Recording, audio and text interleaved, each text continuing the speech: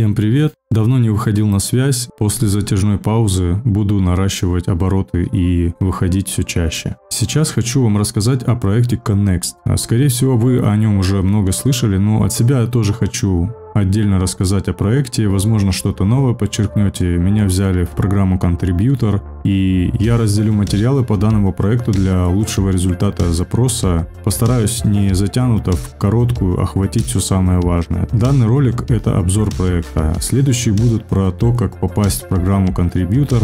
Это амбассадорская награждаемая программа, где я отдельно поставлю акцент на некоторые важные детали. Далее видео будет про использование моста и его особенности и так далее. Все материалы касаемо этого проекта будут разделены. Итак, проект Connext. Это протокол совместимости, позволяющий разработчикам создавать полноценные кросс-доменные приложения XApps, уделяя особое внимание безопасности. Connext обеспечивает быстрый и безопасный мост между блокчейнами и роллапами для создания многосоставных цепей с минимальным уровнем доверия, Connext позволяет действительно быстро, безопасно и дешево переводить свои активы между разными блокчейнами. Преимущество данного проекта – это минимальное доверие, самый безопасный протокол в пространстве, не требующий доверия третьих лиц. Универсальность. Connext может быть развернут и работать одинаково на любом блокчейне или Layer 2 решениях. И низкая стоимость. Переводы отличаются высокой капиталоемкостью, что делает Connext самой дешевой инфраструктурой межблокчейновых переводов для пользователей.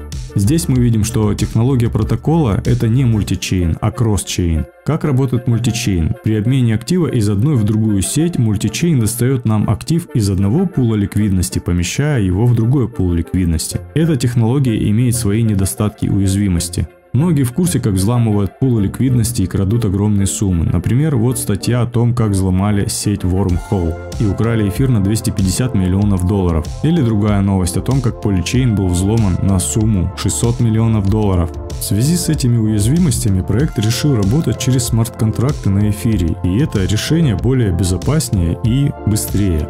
Получается, пула ликвидности как такового нет, так как здесь каждый маршрутизатор предоставляет свою ликвидность для совершения своих операций. Разработчики учли максимально все необходимое. Для того, чтобы стать маршрутизатором, порог входа достаточно низкий, и нет необходимости блокировать большие суммы ликвидности, чтобы присоединиться к протоколу. Низкий порог ликвидности открывает нам возможность присоединиться, подняв свою ноду, и вовлекает большее количество желающих принимать участие в поддержке проекта, получая вознаграждение, и это положительно сказывается на децентрализации проекта. Что можно создавать с помощью Connext? Это кросс-чейн NFT, перемещение NFT в любую сеть. X-Chain Staking – использование любого актива для стейкинга токенов протокола. Any-to-any swap – обмен любого токена на любой другой, то есть, например, USDC в сети эфира на BUSD в сети Binance Smart Chain. Exchange Lending дает возможность предоставлять займ в сети X и брать займ другой актив в другой сети Y.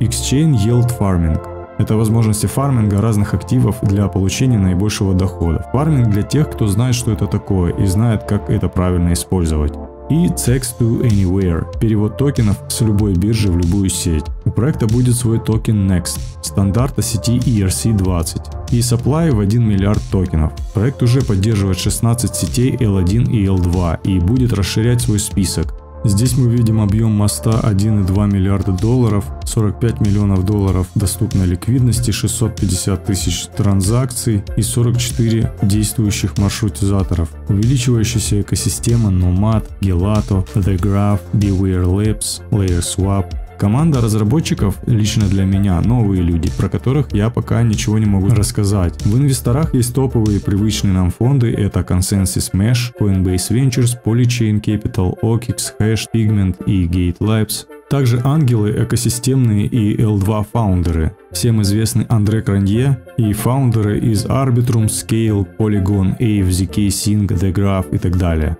Надеюсь, этого ознакомления достаточно для принятия верного решения. Советую не тянуть и заходить в проект сейчас, так как идет награждаемая программа Contributor. 15 июля заканчивается первая фаза. Планируется 2 или 3 фазы. Запуск токена отложен и поэтому мы можем участвовать смело, помогая проекту и тем самым зарабатывая себе баллы, которые скорее всего будут конвертированы в токены. Токеномика распределения будет позже. Программа состоит из пяти направлений Community Leaders, Builders, Content and Education, Routers и Grants. Но об этом уже в следующем видео. Все ссылки в описании, подписывайтесь на канал, ставьте лайки, оценивайте работу, это действительно мотивирует. Заходите в наш чат, присоединяйтесь к проекту и всем пока.